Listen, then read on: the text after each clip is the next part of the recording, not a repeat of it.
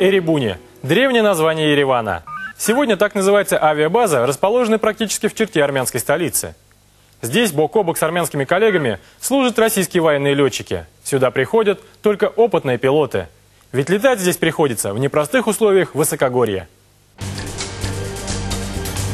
Второй по численности личного состава и, безусловно, главной по значению частью ереванской группировки 102-й базы российских вооруженных сил является авиационная часть. История российской авиабазы на территории Республики Армения началась в 1994 году. Но тогда это были лишь кратковременные командировки. Постоянную армянскую прописку российские летчики получили лишь в 1995 году. Авиационная база расположена на аэродроме Рибуни уже в течение 10 лет. Э, мы несем совместное боевое дежурство вместе с армянской стороной по защите воздушных рубежей территории Армении в объединенной системе противовоздушной обороны государств-участников Содружества независимых государств. Поначалу на вооружении авиагруппы находились лишь шесть истребителей МиГ-23П, которые предназначались только для прикрытия с воздуха частей 102-й российской военной базы. Техники и средств связи было совсем немного, а личный состав насчитывал всего около 100 человек. Полеты проводились крайне нерегулярно, а в период с 97 по 98 год их почти не было из-за отсутствия горючего. Министерство обороны Армении обратилось к российским военным с настоятельной просьбой повысить боеспособность авиагруппы участились случаи попытки вторжения в воздушное пространство республики со стороны соседей. В ноябре 1998 года численность личного состава была значительно увеличена. Сформирована новая часть технического обеспечения.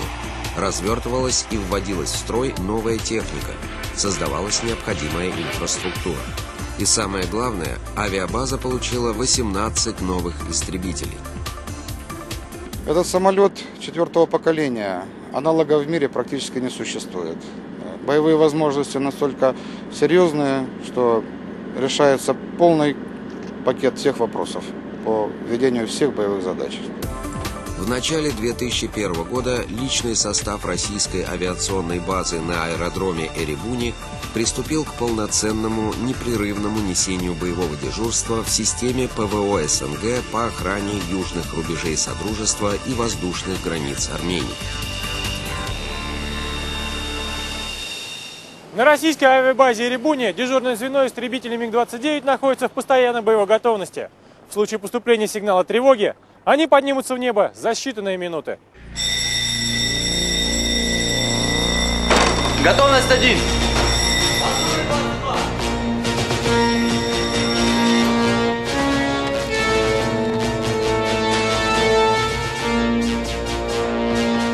Летный состав авиационной базы укомплектован только летчиками первого и второго класса.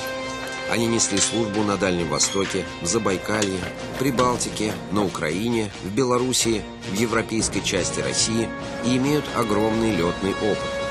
За 10 лет сюда был направлен всего один молодой летчик. Выпускник летного училища здесь появился в прошлом году.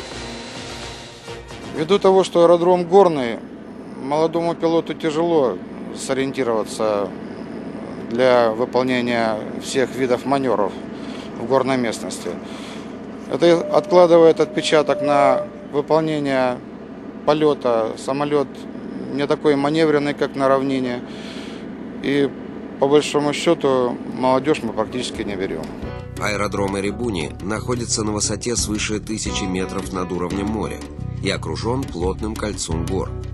И здания, и взлетную полосу российские летчики делят со своими армянскими товарищами, которые летают в основном на штурмовиках Су-25.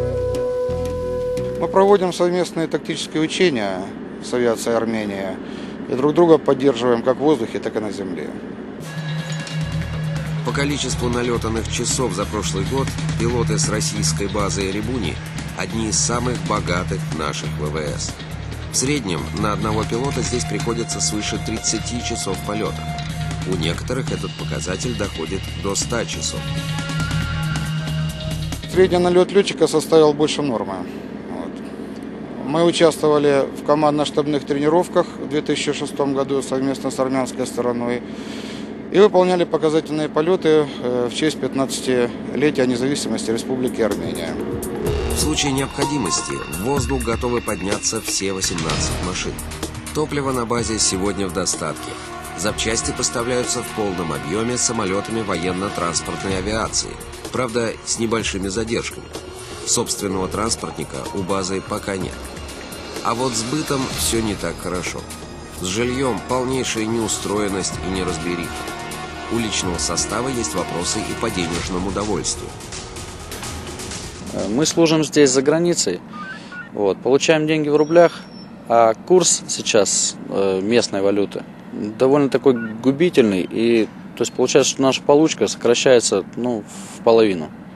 Вот, и вроде как мы здесь получаем полуторный оклад, вот, но получаем мы в реале меньше, чем летчики такие же в России живут. Все дело в неустойчивом курсе драма по отношению к рублю. Он все время меняется в худшую для нашей валюты сторону.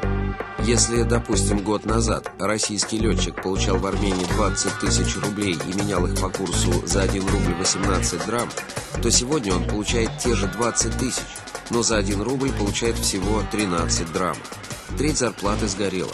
Какой же здесь может быть выход? Есть путь решения, как на Украине. Межбанковский договор и жесткий курс э, неменяемый, допустим, 25, 1 к 25 на Украине получают сейчас. И они живут, ни на что сейчас не жалуются и служат, ни о чем у них голова не болит. То есть они все в свое время посвящают службе. Вот так и у нас можно сделать. В Ереване находится лишь меньшая часть российских военнослужащих, которые охраняют воздушное пространство стран Содружества независимых государств и Республики Армения.